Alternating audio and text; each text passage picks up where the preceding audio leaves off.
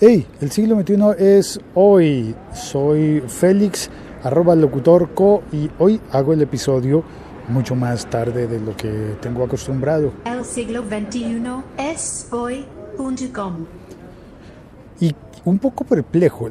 Hago el episodio más tarde porque decidí esperar a que ya hubiera pasado la WWDC, la WWDC, eh, la conferencia en la que se presentaron los, eh, los, las noticias de Apple.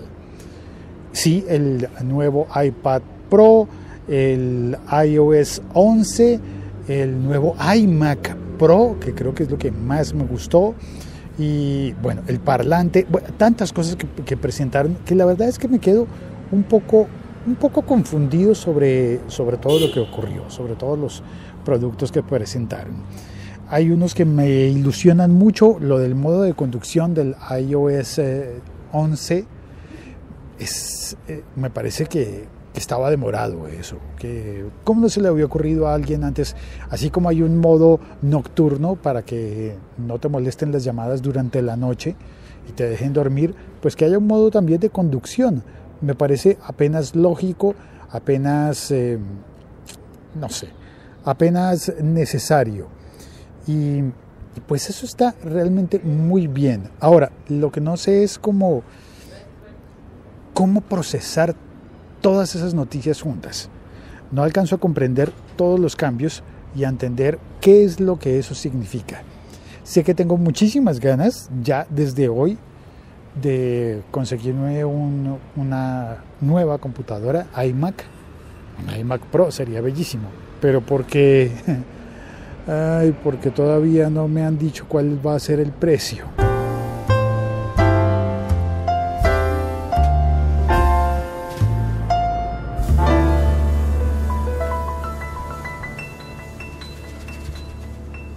Y si no te dicen el precio, pues tú te ilusionas, te emocionas, te entusiasmas. Y dices, sí, voy a querer todo, todo, todo eso, voy a querer. Y la verdad es que lo más posible, lo más probable es que de todo lo que anunciaron en la conferencia de Apple, lo único que yo vaya a tener por seguro va a ser estrenar el teléfono.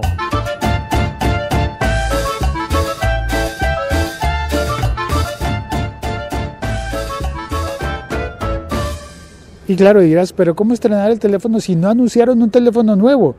Bueno, porque en realidad para mí, sin tener que invertir un solo peso, cuando se hace una actualización del sistema operativo de ese tamaño, es como si tuviera un teléfono nuevo sin haber pagado un solo peso extra.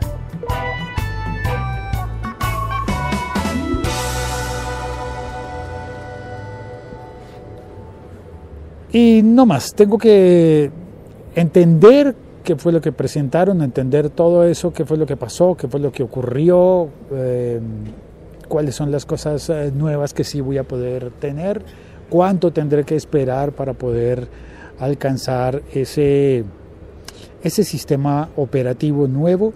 Y, bueno, hay tanto por procesar allí y espero que no me vaya a pasar como ocurrió el fin, de, fin de semana anterior en Chile con el Cyber Day en Chile, porque hubo una noticia, además estuvo muy tergiversada. Al parecer en el Cyber Day alguien ofreció un, un iPhone 7 muy barato. Ahora, vi la noticia más aún, la oí en CNN en español, sigo los podcasts de ellos, Sí, estoy tan aficionado al podcast que yo veo CNN en Overcast. Lo oigo, es decir. Y es interesante, no oigo todos los que publican porque publican unos muy cortos, muy cortos. Está, está bueno, está, me gusta el canal de, de, podcast de CNN, pero publican y actualizan muchas veces al día y a veces como que te pierdes cosas importantes o cosas que querías conocer porque las publicaron rápido. Una de esas fue la noticia de, del, del, iPhone 7. Bueno, ellos no dijeron iPhone. Tuve que buscar y, y enterarme por otra vía de que era un iPhone 7 que estaban eh, ofreciendo en, eh, en Chile pero era increíble la noticia como la contaron en CNN. Dijeron que alguien, una empresa ficticia, estaba vendiendo un iPhone 7 en 5 dólares.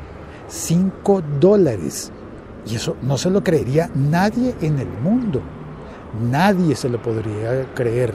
Evidentemente, quien intente comprar un iPhone 7 nuevo en 5 dólares, pues está cometiendo una burrada de un tamaño descomunal como, como de alguna manera lo describían en CNN. Pero, claro, no eran 5 dólares.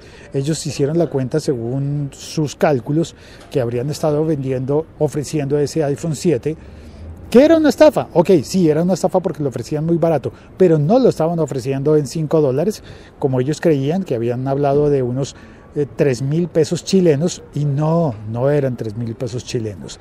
La oferta, obviamente, nadie habría caído en la trampa si le hubieran ofrecido a 3 mil pesos chilenos. Lo ofrecían a 270 mil pesos chilenos, que equivalen más o menos a 400 dólares. Y eso sí es un teléfono muy barato, exageradamente barato para lo que cuesta ese aparato, pero tampoco tanto, ¿no? Es decir, uno burros somos, pero tampoco tanto.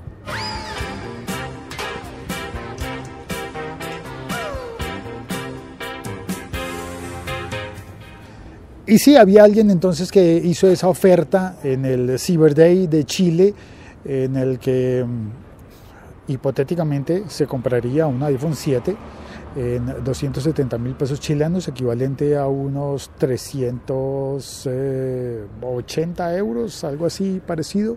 Déjame, incluso puedo hacer el, cálculo. Acá tengo una aplicación que me dice cuánto es. Unos 360 euros. Eh, en pesos colombianos habrían sido un millón ciento cincuenta mil pesos colombianos, es decir, 400 dólares. 400 dólares en todo caso habría sido muy barato, pero no, era una estafa.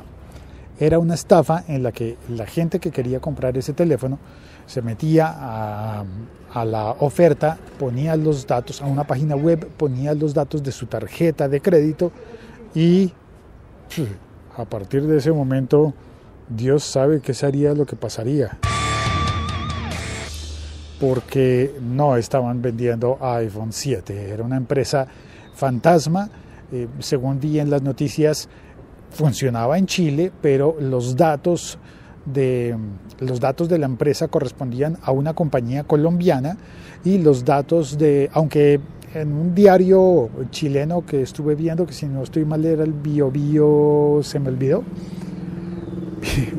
Eh, ah, bueno olvidé en este momento em, el nombre del diario perdón perdón era nuevo para mí y mientras lo busco pues me va a pasar el tiempo. Después te pongo el, dato de la fuente. Mm, habían dicho que no solamente habían clonado los datos de una compañía real colombiana, sino que los habían clonado tan mal que decía que operaba en el territorio colombiano, así que quien estando en Chile hubiera intentado comprar ese teléfono y hubiese decidido comprobar los datos, con solamente asomarte y ver, oye, ¿quiénes son estos que me están intentando vender el teléfono? Habrían visto que los, eh, la información estaba copiada y pegada de una empresa colombiana que no tiene representación en Chile y que no estaba funcionando en Chile. En aquel diario dijeron que el nombre legal de la persona que lo estaba eh, eh, respaldando era el nombre de, de, alguien de Colombia, de alguien de Medellín, pero no, en realidad yo estuve mirando, seguí ese nombre y corresponde a, un, a una persona de Venezuela. En LinkedIn el nombre corresponde a alguien de... Ya, ya olvidé de qué de qué estado venezolano, pero el caso es que era una mezcolanza que además tenía errores de ortografía. Errores de ortografía, lo cual me da a pensar que posiblemente eh, hubiese sido un timo planeado en otra parte del mundo donde ni siquiera se hable castellano, ni siquiera se hable español, porque no identificaban ni siquiera la diferencia que puede existir entre ciudades de Chile, de Colombia, de Venezuela. Ah, y los nombres, los perfiles de las, de las otras personas a cargo eran, eran copiados con fotografía y todo de, em, de personas de México. Así que era como una gran mezcolanza de datos robados de toda Latinoamérica, bueno, robados, bueno, datos robados eh, con perfiles robados y fotografías y direcciones y teléfonos de toda Latinoamérica para dedicarse a robar datos de tarjetas de crédito en Chile. Muy mal, muy mal estuvo eso y espero que de las personas que oyen este podcast en Chile, ninguno haya caído en ese timo y que cada día contribuyamos de alguna manera, se dice contribuyamos, ¿cierto? Por un momento alcancé a dudar de la conjugación de ese verbo. Contribuyamos de alguna manera en eh, educar, en hablarle a las personas de tecnología, a las personas que están a nuestro alrededor y que ojalá en un futuro no muy lejano seamos más diestros en el manejo de la información para caer menos en esas trampas y tonterías. El siglo XXI es hoy.com. Y en el chat saludo a Helen Red Velvet, que como cambié de hora, pues es la única que pasó a saludar en el chat. Hola Helen, gracias. Eh, y gracias por tu apoyo y por compartir los episodios eh, podcast que hago. Muchísimas gracias. Y nada, gracias a todas las personas que estén oyendo este podcast de el siglo 21 de soy.com. Ahora en la web tengo un, un botoncito eh, para tips, para propinas, para patrocinadores, en el que eh, no solamente recibo propinas, sino que también eh, recibo patrocinios. Y ya, si quieres entrar, puedes simplemente escribir el siglo 21 de soy.com acceder al contenido extra y ya, eso es todo. Me despido. Muchas gracias por oír el siglo 21 es hoy.com.